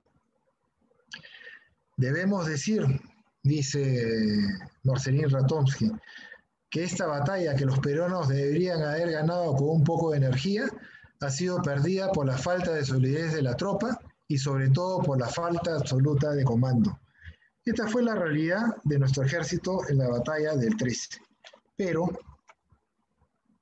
como en toda, en toda parte negativa siempre hay lados positivos, hubieron actos de valor. Cuando un ejército no funciona en una unidad, ya salen, salen, este, nacen los actos de valor. ¿no? Y acá puedo hablar, por decir, de Eduardo García Pavón. ¿Quién es Eduardo García Pavón? Era una persona que alentaba a la tropa, ¿no? Eh, durante la campaña de Lima, eh, se paseaba y lo pasearon por la Plaza Mayor, ¿no? por Miraflores, ¿no? y se presentó como voluntario en las baterías que comandaba Arnaldo Panizo. Esta persona, Panizo, eh, lo mandó, le, pedía por favor que, que no estuviera acá. ¿Por qué? Eduardo García Pavón era ciego. Imagínense, un ciego, un invidente, ¿ya? luchando, luchando en plena batalla. Y esto está reconocido en los partes, en, las listas de, revista de los, de los, del, parte de, Panizo. Esta persona alentaba a la tropa, alentaba a los artilleros, hasta que llegó un momento en que Panizo dijo, llévenselo porque lo van a matar. Y eso fue en los momentos de la última resistencia. También puedo hablar de Juan Barrón, un marinero, un marinero que estuvo en la batería Mártir Olaya. Y en los últimos momentos de la batería, él se, encerró, se encerró en una, casucha donde estaba el polvorín y empezó a disparar a los chilenos. Cuando se le acabó las municiones, simplemente agarró una, una lata de querosene, la prendió y se la tiró a los chilenos. La explosión fue fuerte, tanto así de que él quedó herido y los chilenos agarraron y lo, mataron a Corvos, lo mataron a Corvos. Estos son actos de heroísmo que, que, que, saltan, que saltan en cada batalla. En la línea central hay soldados también que, que, nos cuentan su historia y que eso lo voy a hablar en la, en la siguiente en la siguiente charla. Pero quiero eh, despedir, eh, a ver si está acá. Eh, no, acá no está, esto es para la próxima charla, lo voy a guardar para que queden con, con, las ganas. Quiero agradecer a Vin Links, ¿no? a Pagos Ya y a Kipus Valley, a Punkubit, por el, el, auspicio de esta, de, esta, de esta charla ¿no? Es una, empresas que, que, apuestan, que apuestan por las nuevas generaciones del Perú.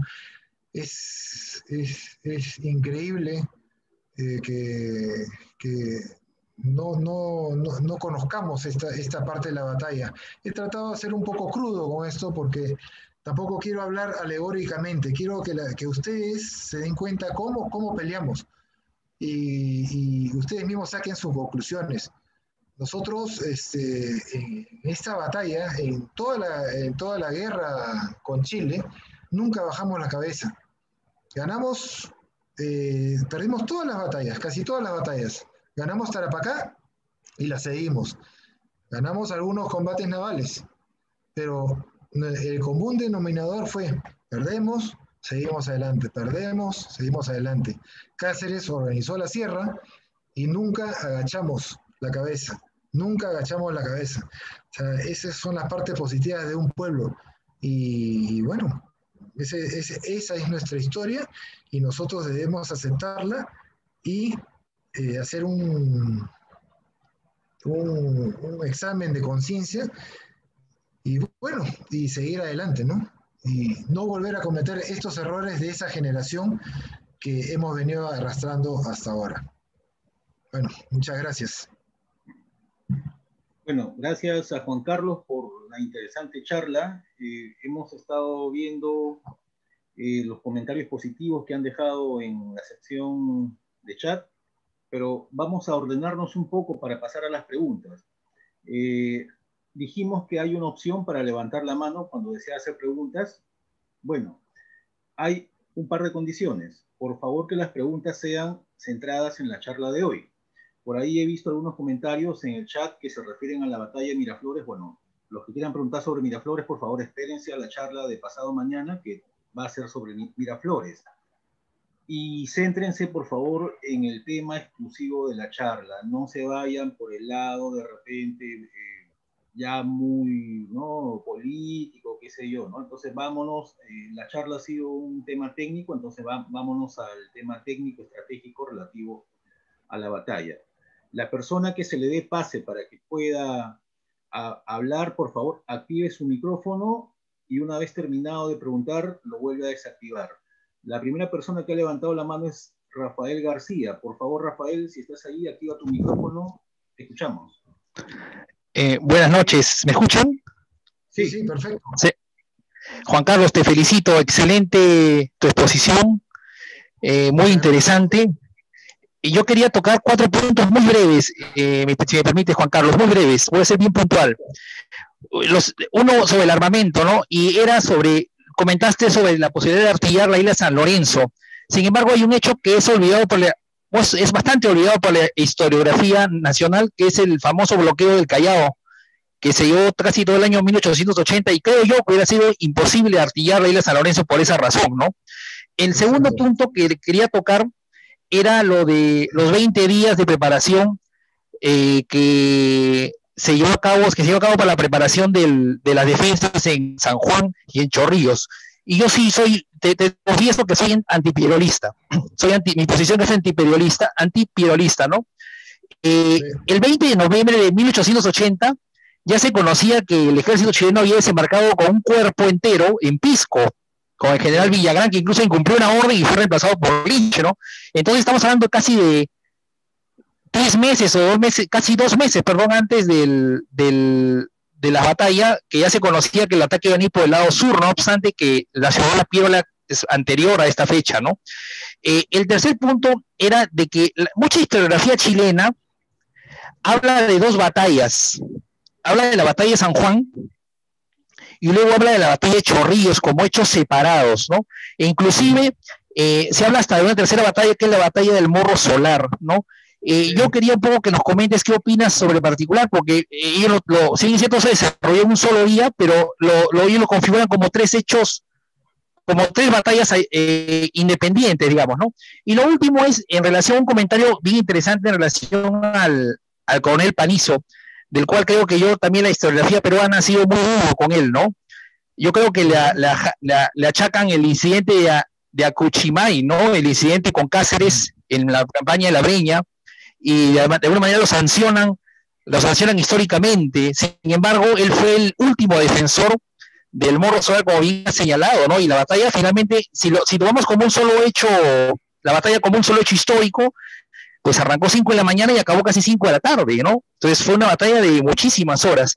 Eh, esos cuatro comentarios y nuevamente felicitarte, Juan Carlos, porque tu exposición ha sido excelente, nos ha, nos ha nutrido, sobre todo en el aspecto eh, no tan solo histórico de, de los partes de varios personajes y observadores, sino también el armamento y las estrategias que se llevaron a cabo. Muchas gracias, Rafael. Paso a responder. Bueno, yo no soy ni pirolista ni antipirolista, simplemente eh, soy un enemigo de echarle la culpa a una sola persona. Eh, lamentablemente, la batalla la perdimos, o sea, la guerra la perdimos nosotros por nuestros errores. Eh, acá no hay autores, también hay que, no solo es Pirola, es Prado también. Prado abandonó el país, ¿no? Sea porque sea, o sea, no fue una, una buena estrategia y dejó el país acéfalo.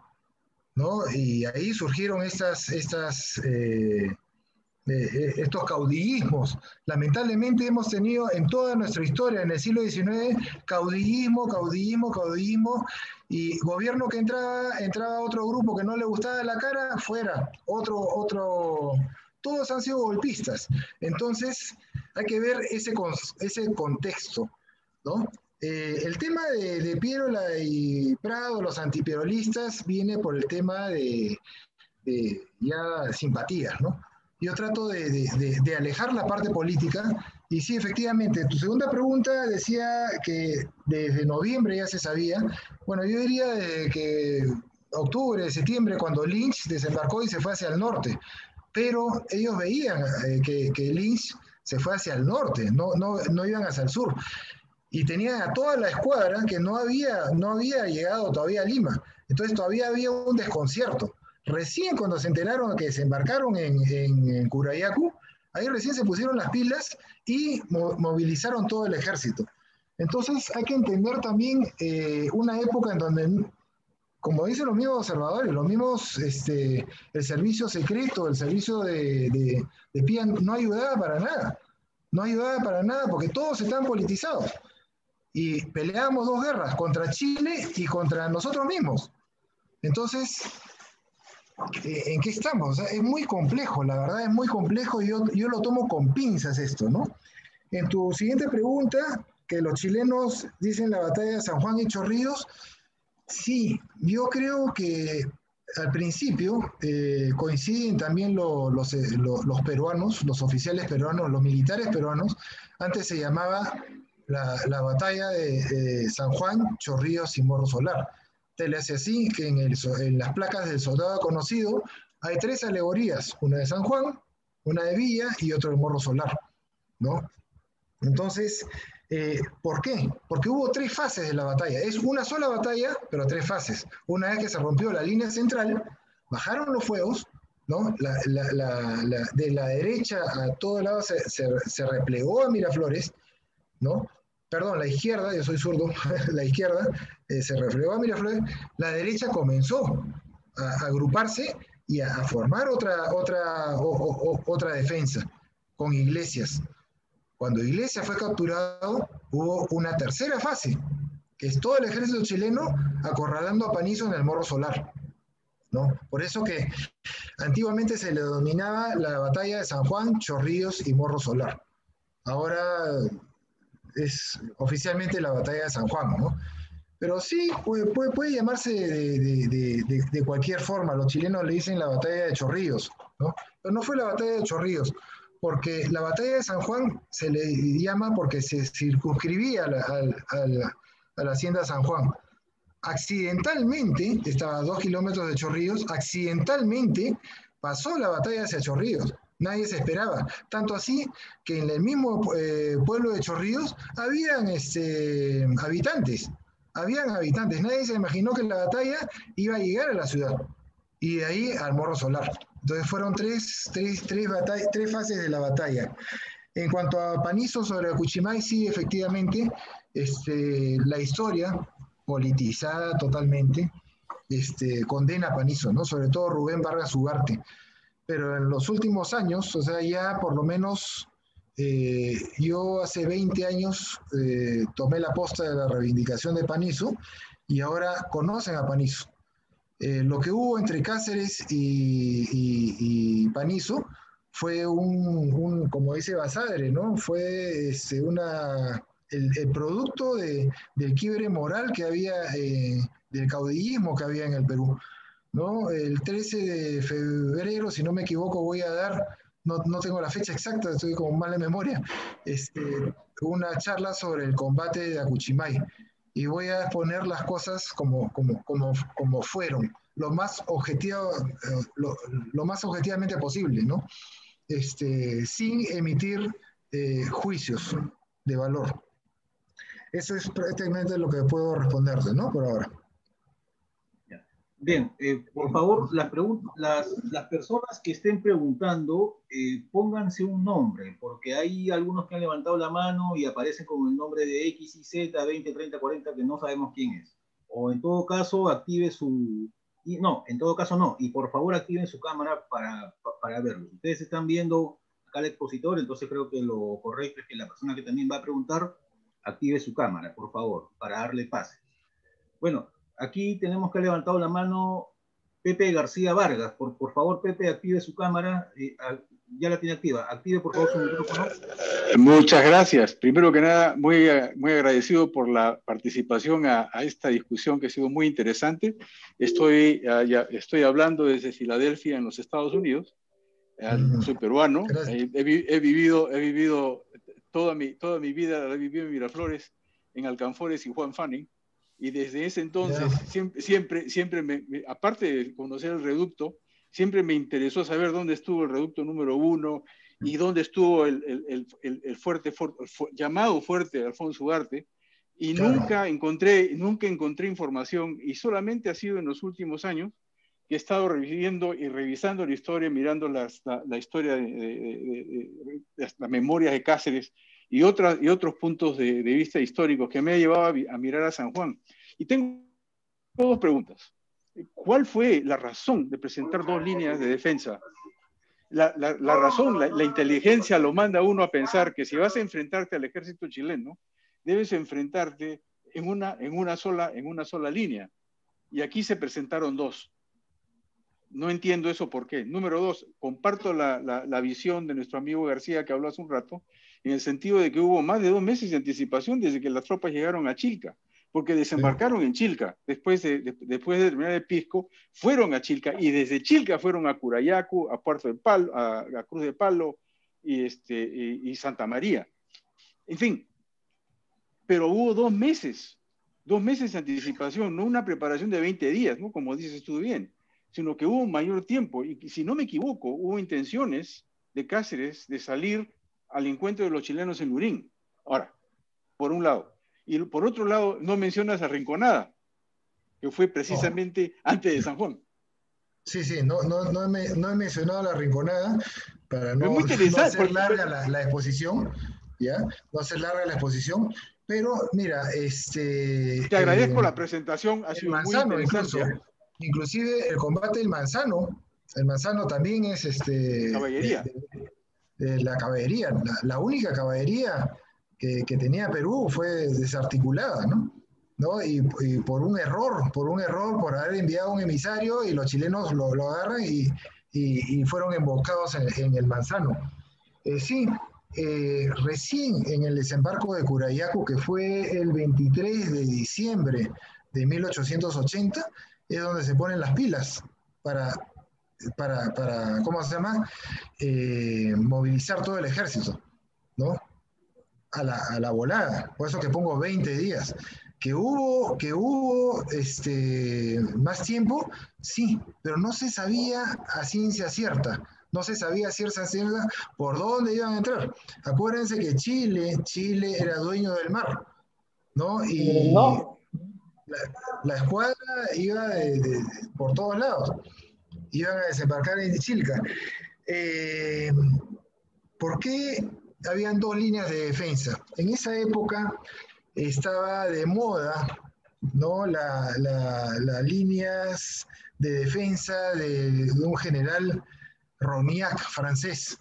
No me acuerdo el nombre, no me acuerdo el nombre, pero eh, Pierola adoptó un, híbrido de esa línea, ¿no? Eh, Roniac decía, bueno, establecía dos líneas de defensa con reductos, pero los reductos tenían que ser pues de, de 100 a 200 metros, no de 800 a 1000 metros. Entonces, ahí sí magnificó todo. Y se hicieron estas dos líneas de defensa. Y las dos líneas de defensa deberían estar más cerca, o sea, más, más, más, más pegadas, que era una reserva de apoyo a la, a la primera línea me parece de que Piero no confiaba mucho en el ejército. Y efectivamente hay que ver los otros temas, los otros temas de la parte política. Este, esas son las cosas que tenemos que, nosotros este, ir desplumando, como dicen, ¿no? Desplumando y, viendo por qué. O sea, ¿por qué?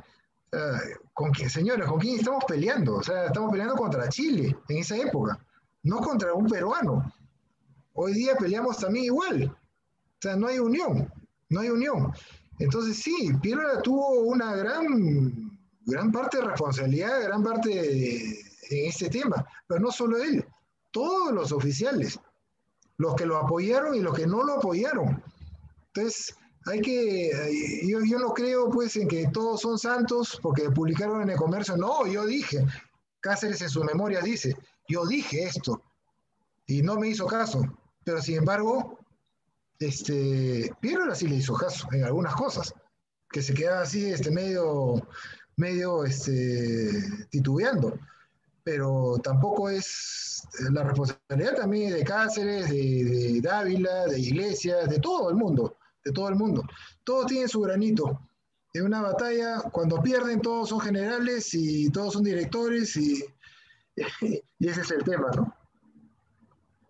Bien, eh, tenemos la pregunta, eh, tenemos la pregunta de Jan Bravo, por favor activa tu cámara y luego pasamos a José Antonio Chan. Jan Bravo, por favor, has levantado la mano. Bueno, te escuchamos. Ah. Sí, lo que pasa es que tengo poca, poca iluminación. Ah, ah, bueno, había preguntado, sí, había preguntado primero, pero este, ya habían abordado la pregunta sobre la batalla de Cuchimay. Y bueno, lo otro que quería este, mencionar o, hacer consulta a ustedes era sobre yo leí una vez en, creo que es unos apuntes de Valle Riestra, la obra se llama ¿Cómo fue aquello? Y leí una parte que me llamó la atención donde él cuenta que este, Iglesias, Billinghurst y Carlos de Piero, la creo fue, eh, salvaron de ser fusilados eh, entregando un reloj valioso ¿no? a un oficial chileno. Quería saber si, si era cierto. Esa es mi consulta. Eh, bueno, lo dice Valle Riestra, tiene que ser cierto, tiene que ser cierto. Y efectivamente, eh, gente agarra eh, y él ya sabía que su hijo había muerto. Ve la parte humana. O sea, los chilenos me van a fusilar, yo, yo agarraría cualquier cosa para, para, evitar eso, ¿no? Este, para un padre perder, perder un hijo es algo, algo indescriptible. Yo no tengo esa experiencia, por suerte, pero sí, sí he visto en, otras personas, ¿no? Entonces, no hay guerra que valga. Es la parte humana, es la parte humana. Que le haya entregado el reloj, puede ser, puede ser. Si lo ha dicho Vallarres, es un testigo presencial del, del tema. Si en ese relato indica que antes había matado un chileno de un balazo, no sé quién se salvó, pero mataron al que estaba atrás. Entonces sí, sí, sí, es cierto. Sí es cierto. Ahora, el conjunto de estos relatos hay que analizarlos, porque no es solo, solamente analizar un solo relato. Si vas a historiar, si vas a, quieres tener una idea general, tienes que ver diversos, diversos puntos, ¿no? Lo, los, lo, juntas y armas una, una historia lo más cercano a la realidad, ¿no? Correcto, gracias. Bien, eh, por favor, eh, Jorge Antonio Chang, te escuchamos. Tu micrófono, actívalo, por favor. Sí, sí, ya está activado, gracias. Eh, Juan Carlos, para comenzar, felicitaciones, una muy buena este, posición. Solamente la pregunta era para que nos pudieras un poco iluminar sobre el tema de que las fuerzas peruanas que ascendían a más o menos a unos 25, 30 batallones, eh, todas tenían el mismo nivel de antigüedad, es decir, todas estaban formadas y todas habían sido entrenadas durante el mismo tiempo, o no fue así? No, no, no, no. no. Eh, los batallones que se formaron en, Lima, ¿no? Fueron, eh, se supone, a ver, cada batallón, si no me equivoco, debía tener seis compañías y cada compañía debería tener unos 180 soldados, si no me equivoco, o 140, no sé. El tema es que eh, nunca se llegó a, ese número. Entonces traían tropas, traían gente de la sierra y los, los asimilaban. A veces había compañías o, batallones que tenían veintitantas personas y formaban compañías de gente que, no, no, tenía formación alguna. Acá, acá tenemos el tema también de los oficiales, ¿no? Había mucho racismo, ¿no? Había mucho clasismo también. Entonces, eh, no es un ejército, era una milicia que se había formado prácticamente, ¿no? Entonces, eh, si tú ves los batallones, Iglesias tenía creo que la mayor cantidad de, de, personas, pero Suárez era una reserva de dos mil y tantas personas.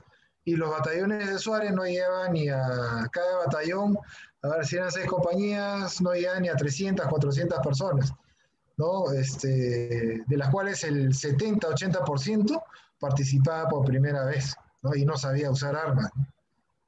Entonces es como si a nosotros ahorita nos dan un arma y nos ponen en la línea de batalla. ¿Cómo se, cómo, se utiliza esto? ¿no? ¿Qué voy a hacer? Es, fue así, esa es la realidad, nuestra realidad. Los chilenos los chilenos este, celebran esta victoria, eh, eh, dicen que es la batalla más grande de Sudamérica, efectivamente, por el número de personas. Este, en general, la guerra del Pacífico, ¿no? Nosotros le decimos la guerra del Pacífico, la de Buenos Salitre, la guerra con Chile, la guerra de 1879. Todas son válidas, todos los títulos son válidos. Pero ellos celebran eh, la batalla de San Juan como una victoria gloriosa. Claro, Podría ser una victoria gloriosa si hubiéramos eh, peleado en iguales condiciones de preparación, pero no fue así. No fue así. Es como si el ejército sale el ejército de una manifestación y se enfrenta a unos manifestantes de Lima. Entonces, a la primera bomba lacrimógena, todos salen disparados. Es igual lo que pasó en la línea de San Juan. Entonces, no es la batalla gloriosa, es una batalla. Lo más glorioso fue lo de nosotros, porque no agachamos la cabeza. Perdimos la batalla, pero sin embargo dimos, dimos, dimos una cara de derrota, cara de derrota. Bien. Eh, Leopoldo, sí, este, por favor, eh, Juan Arcaidi, activa tu cámara, por favor. Y... Sí, claro. Buenas noches. Muy buenas noches, ¿me están oyendo? Sí, Juan. ok. A mi tocayo, Juan Carlos, mis felicitaciones por la presentación. Gracias, Nos gracias. conocemos ya por escrito porque hemos eh, eh, cambiado opiniones sobre la posición del Reducto 1 y de la batería Alfonso Ugarte, si mal no recuerdo. Y felicitaciones por tu libro. Muchas gracias. Sí, eh, bueno, acabo de terminar la trilogía que hablaba justamente sobre la guerra con Chile y acaba de salir el último volumen, que es en el que hablo sobre la influencia de la política en la educación nacional en los tiempos actuales. Y es justamente lo que me lleva al comentario que voy a hacer. Tu presentación la considero como un marco importantísimo, porque en los momentos actuales que vive el país, lo único que estamos viendo es la destrucción de la historia en la educación nacional. Ya se eliminó del currículo la historia del Perú, es parte de las ciencias sociales, no sé por qué, pero en fin, lo comento también. Eh, el problema, creo yo, es de que eh, seguimos una línea política muy peligrosa en el que la destrucción de la historia y de la educación cívica comparten una posición importantísima.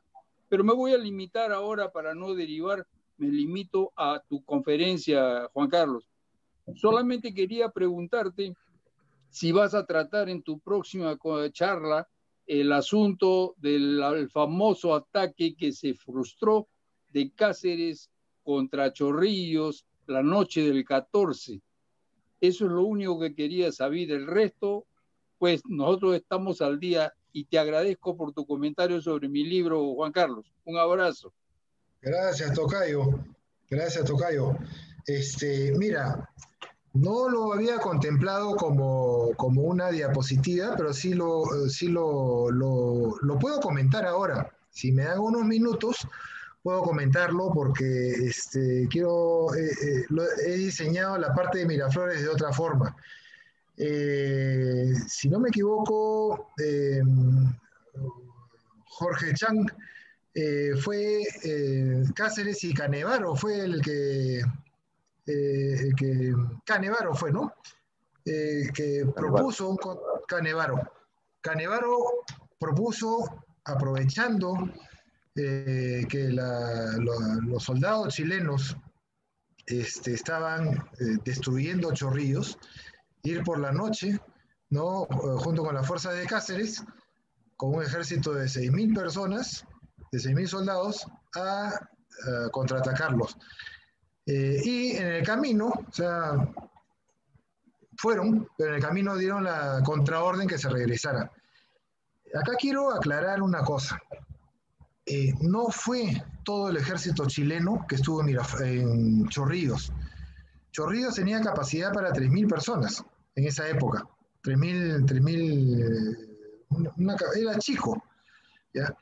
Eh, se calcula exageradamente que hubieron 1.500 chilenos ebrios, eh, destruyendo chorrillos, violando, saqueando, ¿no? Pero el resto de las tropas estuvo, estamos hablando de más de 20.000, estuvieron acampando alrededor de, en San Juan y Chorrillos alrededor. Fue tan brutal esta, esta este, y lamentable esta, esta destrucción que los mismos chilenos, los mismos historiadores chilenos censuran esto censuran esto. Baquedano no hizo nada, no hizo, o sea, mm, fue muy displicente. Entregó a Chorrillos como botín ¿no? Y cuando los mismos oficiales chilenos trataron de contener a su tropa, eh, muchos fueron muertos. Tal es así que al día siguiente se mataron entre oficiales y soldados 500 personas. 500 personas. Entonces, si el ejército peruano iba a contraatacar, iba a ir sobre Chorrillos y se iba a enfrentar a toda esta gente, lo único que íbamos a perder era esas 6.000 personas, porque el resto de las tropas estaban perfectamente formadas y ordenadamente cubriendo todas las zonas estratégicas. Entonces, me parece una contraorden acertada. Si hubiera sido todo el ejército chileno que hubiera estado en Chorrillos, se justificaría. Pero no fue así, no fue así. Ese es un mito, ese es un mito que, que también debemos de... Las memorias de Cáceres son interesantes, pero no es la última palabra. O sea, las memorias de Cáceres, primero no las escribió él, fueron dictadas, ¿no? Más, más exactas fueron las de la hija sobre la Aurora Cáceres, ¿no? Este, y debemos tomarlo como, como una como una, como una referencia, pero siempre cuando uno investiga tiene que ir a las fuentes. Si una persona dice algo, hay que comprobar que esa persona esté diciendo la verdad. En ese momento sí, sí, o sea, probablemente habrán pensado que todos los chilenos estuvieron ahí, pero no, no, no fue así, no fue así. Y fue, y creo que fue ahora, eh, analizando, fue la mejor decisión. Bien, eh, por favor, eh, Carlos Alberto Pérez ha levantado la mano, por favor active su cámara y, le escuchamos. Mucho gusto, eh, amigos todos, señor Flores, lo felicito. Carlos? como usted comprenderá, nosotros somos todavía neófitos en la materia, estamos recién entrando gracias a muchos amigos en común que tenemos, como el señor Renzo Castillo. Mis preguntas son en base a hechos muy puntuales que no han sido muy tocados en esta exposición o de repente serán ampliados en algún momento. El tema de la inteligencia militar. Eh, hemos notado de que solamente sintéticamente se han dicho de que la inteligencia militar era muy escasa o por decir nula. ¿Por qué en el ejército cubano no había inteligencia militar si ya habíamos tenido cierta influencia francesa no sé si inglesa en el ejército, es la primera pregunta. Eh, si eso lo, se podría haber visto en, esta batalla de San Juan. Eh, la segunda pregunta es las formaciones militares las mujeres en Chile eh, es copiosa porque hay fotos no de Rabona, sino de mujeres que portaban el corvo y portaban armas, es decir, combatientes. Hemos tenido combatientes en la batalla de San Juan, hemos tenido mujeres combatientes, eh, esa es la segunda pregunta. Y la tercera y, la una pregunta, eh, la, tercera pregunta tendría que ver con el tema de si esta debate histórica ha tenido eh, alguna comparación o ha ocurrido alguna otra batalla a nivel mundial o en Sudamérica que haya sido parecida con esta desgracia que nos ha pasado a nosotros hace 140 años. Y finalmente la última pregunta es la que tiene que ver con el tema de la, si la información más exacta, se asemeja a lo que dice Vicuña Maquena, Basadre o su persona. ¿Quiénes son realmente aquellos que nos podemos nutrir? Porque en la época del colegio eh, nos han enseñado puras mentiras. Muchas gracias. Eh, gracias, Carlos Alberto. Paso a responder la primera pregunta. Eh, ¿Por qué falló la, inteligencia militar y si teníamos una escuela prácticamente francesa. No teníamos este, inteligencia militar. Cuando comenzó la, la guerra no teníamos, nuestro, nuestro ejército eran, eh, eran guardias nacionales. Este, se tuvieron que llamar a, los a, a los antiguos generales, antiguos coroneles, a que volvieran a, a, utilizar los uniformes. Tenemos a Ramón Vargas Machuca, eh, tenemos a Bolognesi, tenemos a, bueno, otros militares eh, improvisados, como era Alfonso Ugarte, ¿no? Pero era una persona, era un hacendado prácticamente. Este, no ha habido inteligencia. El ejército del sur Cuando yo hablo del ejército profesional del sur, era prácticamente el ejército veterano, que ya había tenido varias batallas, varias batallas, este, se hicieron en el campo, se hicieron en el campo de batalla.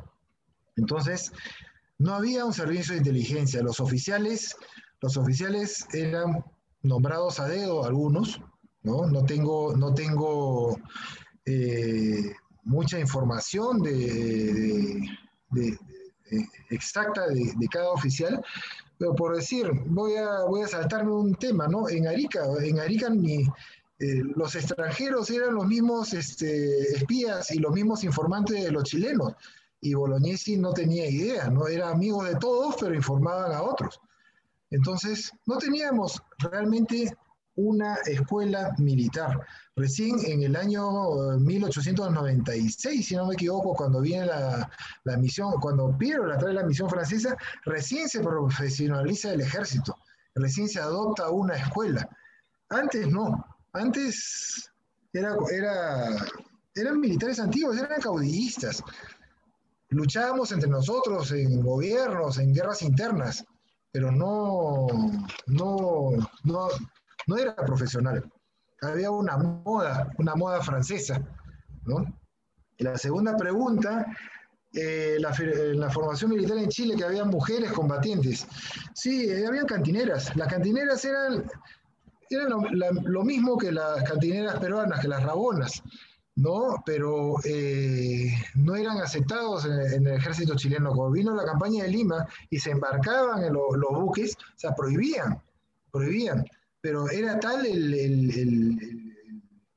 el, sentimiento que las mujeres se disfrazaban de hombres y se iban escondidas en el buque.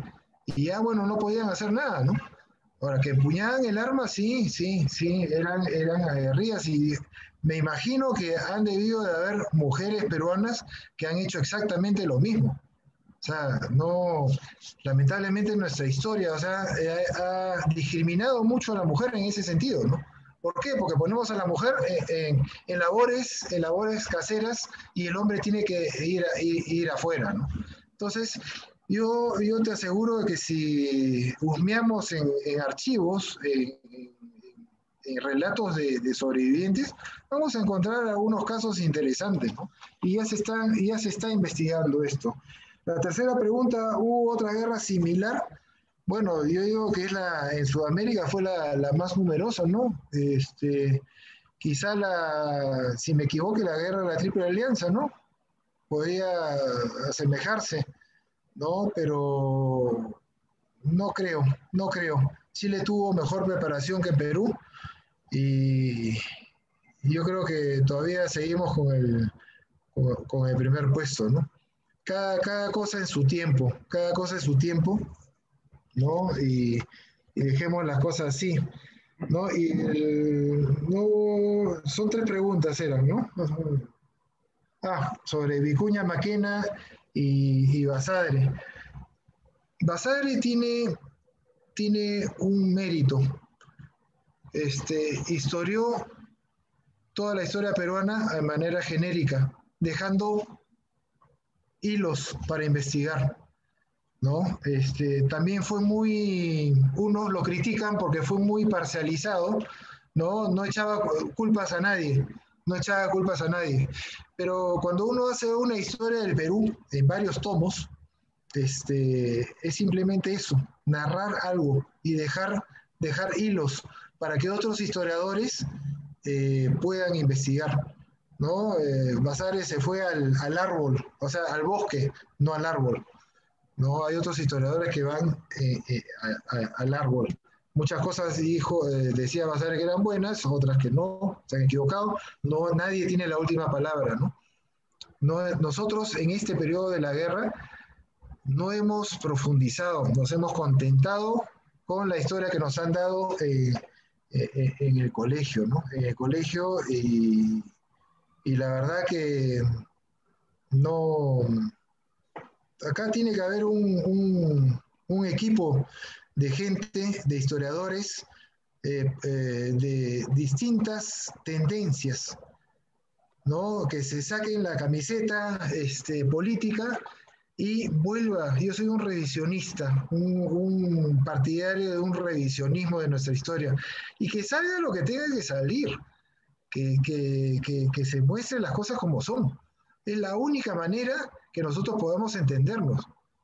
Señores, o sea, no pasan ni 20 años, 25 años, y ya podemos ver ahora a la nueva generación, o sea, jóvenes que tienen en sus polos la cara de Ibael Guzmán, o sea, ¿cómo es posible? Pues, ¿no? O sea, eh, ya ahora ya no es un, terrorista, sino ya es un líder, como lo fue el Che, el che Guevara, ¿no? O sea, increíble. O sea, son, este, eh, eso no lo podemos aceptar.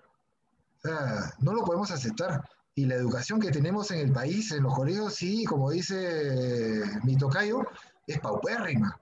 O sea, se ha eliminado la historia del Perú. O sea, decir que se celebró que, que el 7 de junio, el Día de la Bandera. ¿Pero qué hubo el Día de la Bandera?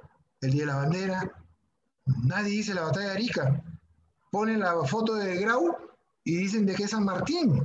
O sea, a ese grado de desconocimiento estamos.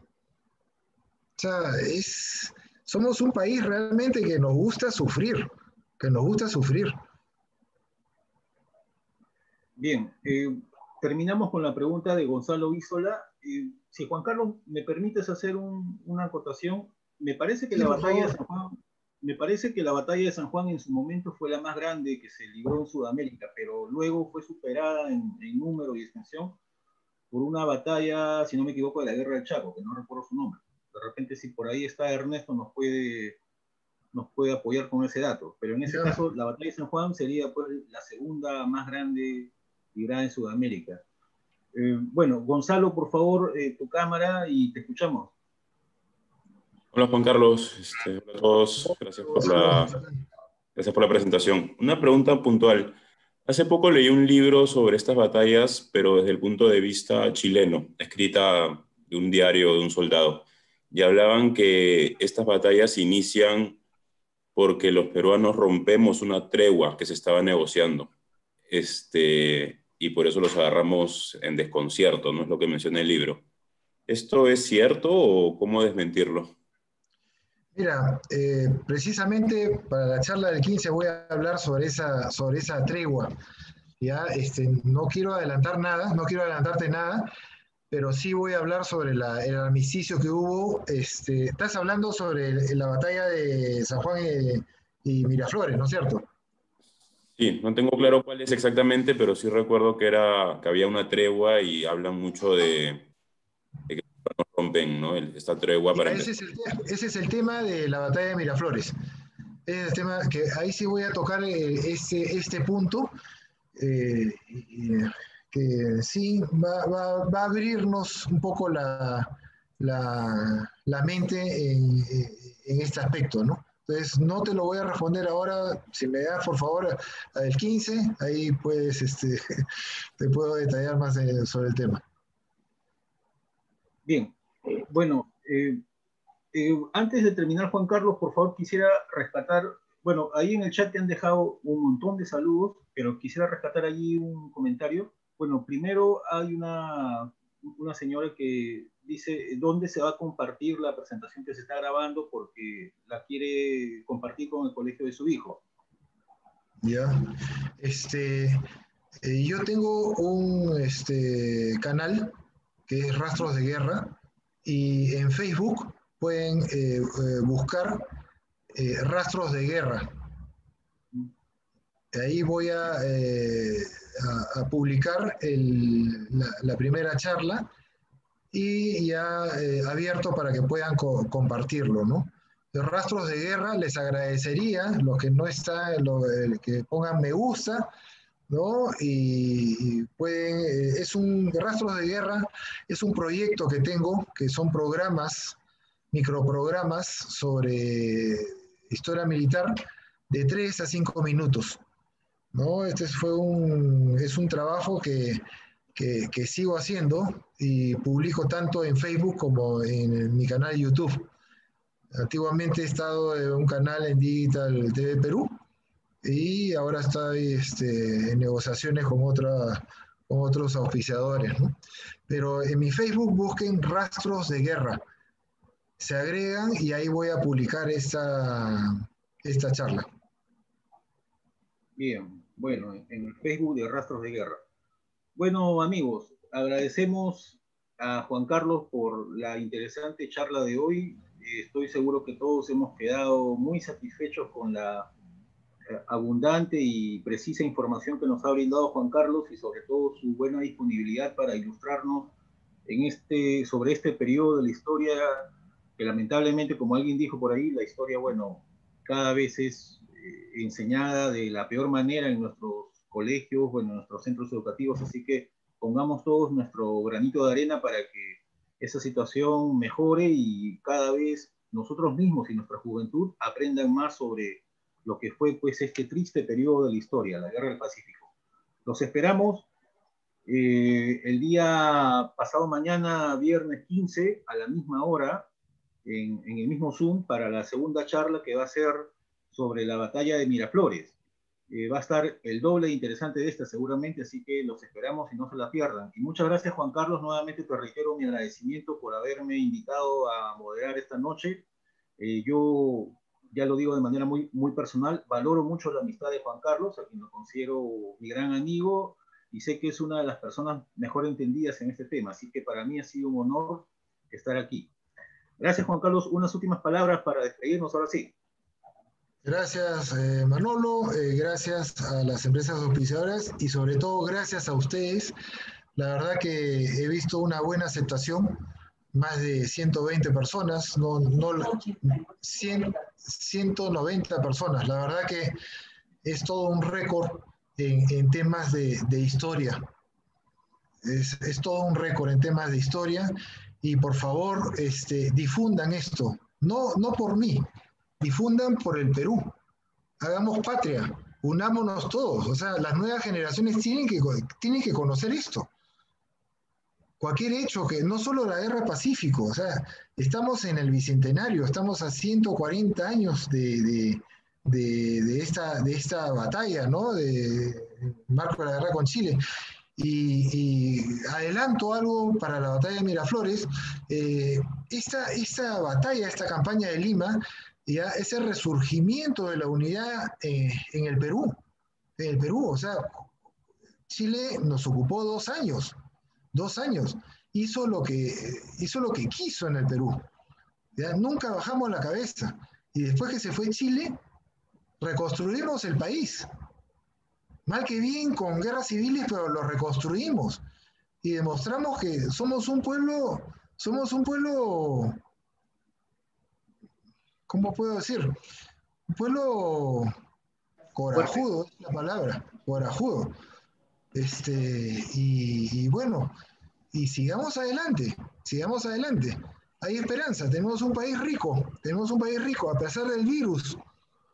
Podemos seguir adelante, podemos reinventarnos, podemos buscar cosas creativas y enseñar a las nuevas generaciones que todo pasado es es importante, es importante. Lamentablemente he escuchado a varios líderes de opinión decir, ¡Ah, celebramos, celebramos derrotas. ¿Para qué? O sea, ¿para qué celebramos? Bueno, esa gente la verdad debería irse del país. O sea, celebramos ¿por qué? No celebramos, conmemoramos, agradecemos a esa gente. Recordamos. ¿Ah? Recordamos, recordamos. gente, recordamos a esa gente. Precisamente para no volver a caer en el mismo error. O sea, ese es el, padre enseña al hijo y el hijo cuando es padre enseña al otro hijo. Y esas son parte de nuestras tradiciones, sean buenas o sean malas. Si uno ha tenido un padre bueno o un padre malo, una madre buena o una madre mala, uno enseña a los hijos y los hijos aprenden de esos errores para que no transmitir lo mismo a sus hijos. Esa es la cadena. Eso es lo único que puedo, que puedo decir. Agradecer a todos por la, por la aceptación y bueno, nos vemos el día 15 de enero, a la misma hora. Gracias. Nos esperamos el día viernes 15, entonces, a las 7 de la noche, igual, aquí en Zoom. Muchas gracias a todos y por favor, asistan el día viernes. Gracias, gracias. Buenas noches. Carlos, excelente. Gracias. Gracias. Gracias. Buenas noches, muchas gracias. Buenas noches. Gracias. Muchas gracias a todos los presentes. Gracias. Excelente, muchas gracias. Excelente. Gracias, Rafael. Gracias. Bueno, no, adiós. Nos vemos el jueves, el 15. Muchas gracias, Juan Carlos. Gracias. Pasen la voz y, pasen el link a todas las personas. Es abierto. Es gratis, libre. Exacto. Así es. Gracias. Muy amable, gracias. Excelente, muchas gracias. Muchas gracias. Gracias, César. Bien. Bueno, vamos a cortar ahora sí la grabación. Gracias a todos, buenas noches, nos vemos el día viernes 15 a las 7 de la noche. Gracias, Juan Carlos. Chao. Buenas noches. Gracias. Adiós. Adiós.